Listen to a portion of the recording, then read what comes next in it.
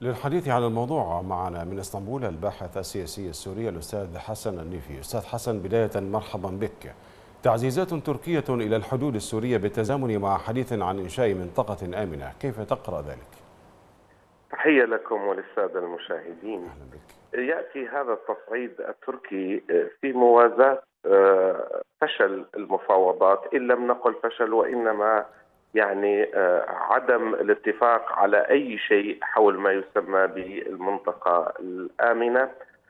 طبعا هذا الخلاف هو خلاف قديم وليس وليد اليوم. نحن نعلم أنه منذ اتفاق الرابع من حزيران عام 2018 بين الجانب التركي والجانب الروسي حول موضوع مدينة منبج هذا الاتفاق على الرغم من موافقة الطرفين على كافة بنوده إلا أنه تم تعطيله من قبل الولايات المتحدة الأمريكية ولم يطبق إلا الجزء الرمزي منه وأعني الدوريات المشتركة. ثم أصبحت المسألة أكثر تعقيدا عندما دخلت منطقة شرق الفرات أيضا من جديد على الخط بين الطرفين.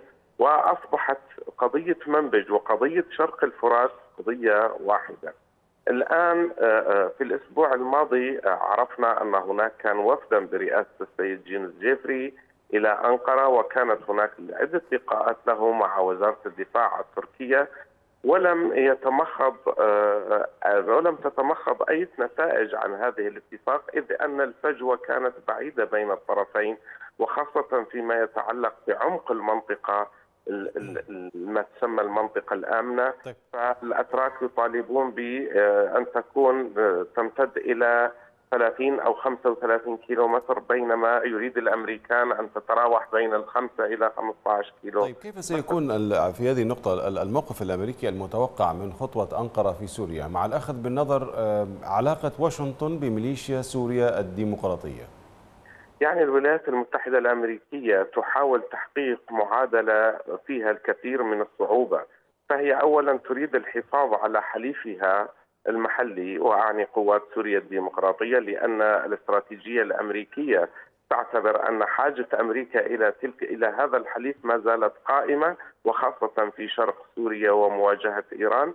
وبذات الوقت هي تريد أيضا أن تحافظ على حليفها التقليدي تركيا لأنه لا أحد بإمكانه يتجاهل دور تركيا فيما يتعلق بالاستقرار بسوريا فالحدود الممتدة على طول 900 كيلومتر تعني أنه لا يمكن قيام هناك استقرار حقيقي في سوريا بدون رضا تركيا.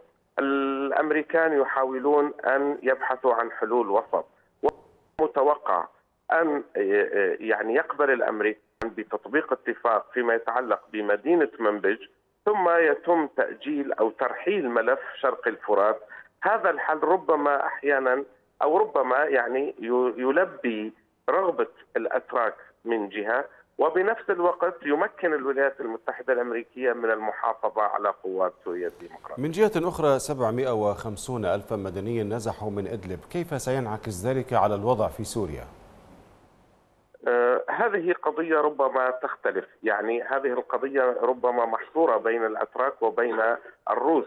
وهذا ما انعكس تماما على لقاء أستن الذي عقد يوم أمس والذي قبله. أحد معالم هذا الخلاف هو قضية اللاجئين التي سببها هو عدم إطلاق النار.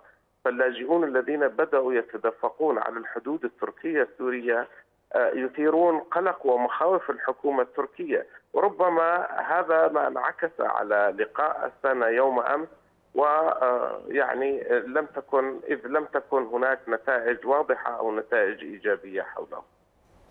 نشكرك شكرا جزيلا من إسطنبول الباحث السياسي السوري الأستاذ حسن النيفي.